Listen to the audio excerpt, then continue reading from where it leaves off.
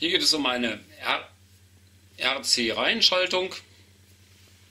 Ähm, wir haben folgende Konstruktion: Widerstand in Serie mit einem äh, Kondensator.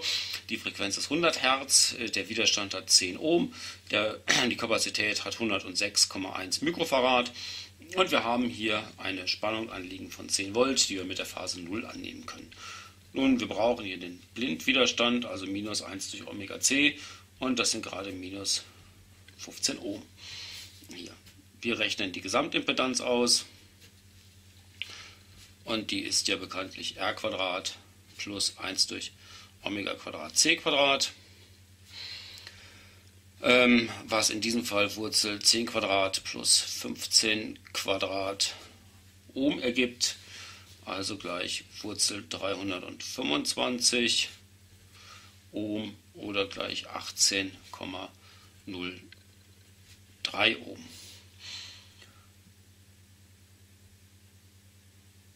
Okay, hm, hier können wir jetzt die einzelnen, die Spannung äh, relativ einfach ausrechnen, nämlich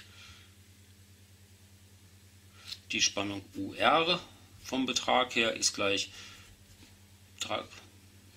der angelegten Spannung durch R mal Z Gesamtbetrag, also gleich 10 Volt mal 10 durch 18,03, also 5,547 Volt. So, das Zeigediagramm.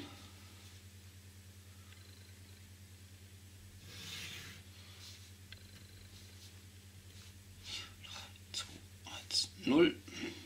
Noch die 6 dahin.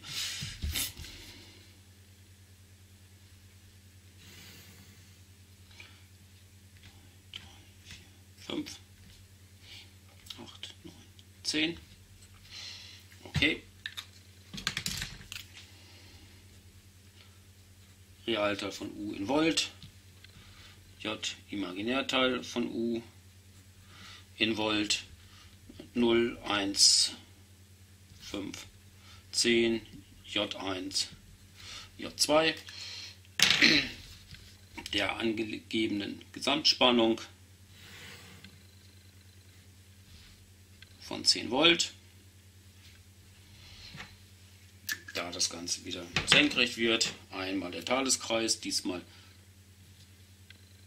nach oben, da wir wissen, der Strom eilt vor, geht also nach oben und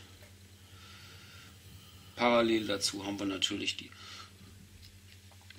Spannung am Widerstand 5,54.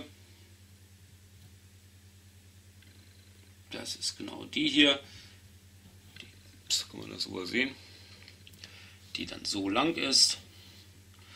5,54 hier in den Zirkel genommen. Und dann können wir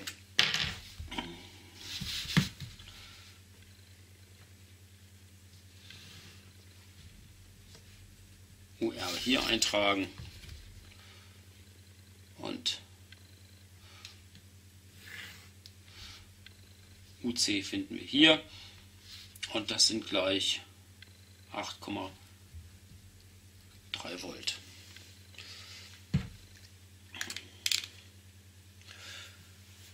Okay, I, ich deute es nur an, wäre parallel hierzu. So, ich mache keinen Maßstab dran, da ähm, es ohnehin nur dieses eine I gibt, sollte ich da einen großen Maßstab machen. Ich rechne aber trotzdem alles jetzt nochmal komplex aus damit man das auch weiß. I sind gerade die 10 Volt durch das Z Gesamt, also 10 minus J. 15 Ohm und das ergibt 0,308 Ampere plus J 0,462 Ampere, was da ist 0,555 Ampere mal E hoch J. 56,3 Grad. Stimmt das? 56,3 Grad können wir gerade mal nachmessen. Na, ich nehme mal den kürzeren hier.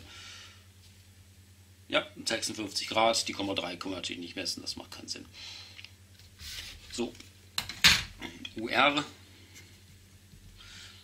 gleich I mal R, also eigentlich nur das mal 10, also 5,5 5, 5 Volt mal E hoch J 56,3 Grad und UL gleich I mal minus J 15 Ohm gleich 8,33 Volt. Das hatten wir ja auch schon, da, da ist wieder der Wert.